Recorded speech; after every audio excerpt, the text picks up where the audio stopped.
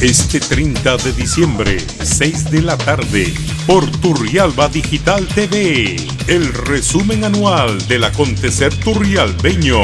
TDN.